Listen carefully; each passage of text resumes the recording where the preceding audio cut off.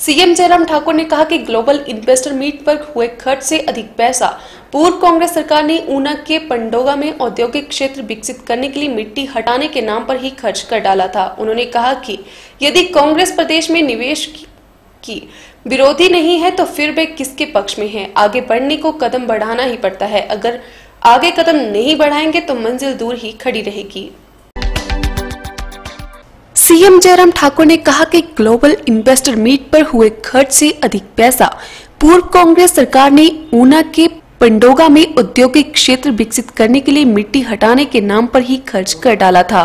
उन्होंने कहा कि यदि कांग्रेस प्रदेश में निवेश के विरोधी नहीं है तो फिर वे किसके पक्ष में है? आगे बढ़ने के लिए कदम बढ़ाना ही पड़ता है। अगर कदम नहीं बढ़ाएँगे तो मंजिल दूर ही खड़ी रहेगी। मुख्यमंत्री जयराम ठाकुर ने इस दौरान विपक्ष पर जमकर हमला बोला और कहा कि ग्लोबल इन्वेस्टर मीट के मुद्दे पर विपक्ष का शोर शराबा केवल राजनीतिक लाभ लेने तक सीमित है। उन्होंने कहा कि विपक्ष राजनीति ज़रूर करे, मगर जब प्रदेश के विकास की बात हो तो राजनीति को थोड़ी देर के लिए छोड़ दिया जाए। उन्होंने कहा कि सरकार ग्लोबल इन्वेस्टर मीट का खर्च देने को तैयार है, क्योंकि हमने छुपाया कुछ भी नहीं।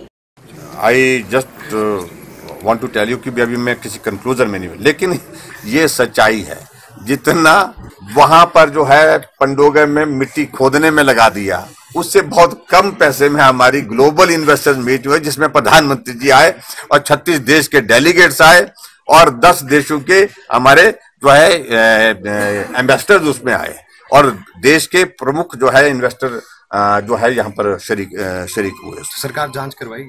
उन सारी चीज़ों को लेकर विचार करेंगे। नूरपुर के विधायक राकेश पठानिया ने कहा कि इन्वेस्टर मीट के नाम पर पूर्व सरकार के मंत्री 80 लाख रुपए खर्च कर आए जबकि इन्वेस्टर एक भी नहीं ले पाए। विधानसभा में पठानिया द्वारा उठाए गए सरकार के इन्वेस्टर मीट के मुद्दे को लेकर नेता विपक्ष चर्चा में भी शामिल न होकर भाग रहे हैं। इनकी सरकार में इन्वेस्टमेंट नहीं हुई केवल अस्सी लाख रुपए खर्च किया करोड़। इन्वेस्टमेंट हुई नहीं इनसे। इन्होंने कोशिश की एक पूरे देश में घूमे पूरे प्रदेश में घूमे और अस्सी लाख रुपए फूक कर आए। पर इन्वेस्टर कोई ना लाए। एमओयू एक साइन नहीं किया।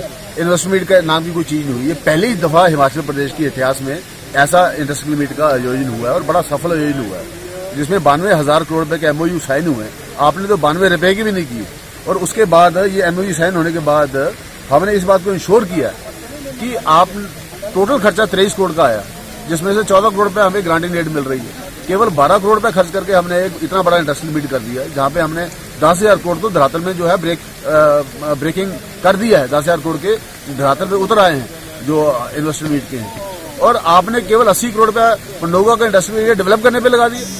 इंडस्ट्री आपने एक नहीं लगाई वहाँ बड़ी बड़ी बिल्डिंग आपने खड़ी कर दी खाली पड़ी हुई है।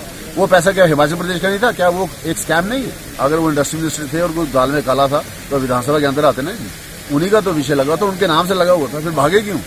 बाहर प्रेस कॉन्फ्रेंस करेंगे।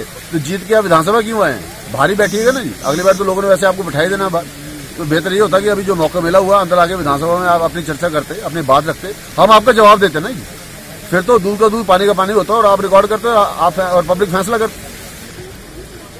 तो ये वन साइडेड गेम नहीं चलेगी। कार्यक्रम में वक्त चले से ब्रेक का ही मिलते हैं ब्रेक के बाद।